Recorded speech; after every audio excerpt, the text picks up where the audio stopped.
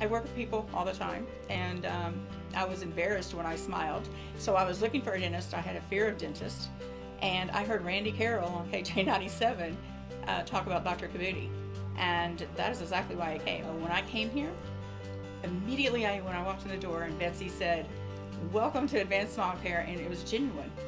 The first thing I noticed is they're patient, they're non-judgmental, they're friendly, they're nice, they're respectful. They make you feel like you're a member of their family. Oh, I needed major dental work. My entire bottom needed to be replaced. Uh, all of my teeth, they were. I had cavities, uh, discoloration. Uh, my smile was not pretty. And when they put them in, they were actually mine. That I got to leave. I cried, and I mean, I was kind of embarrassed because I cried, but it was happy, happy, happy cry. And I've been happy ever since. My teeth kind of lead me into the room now, and I follow them. It's, it's just amazing.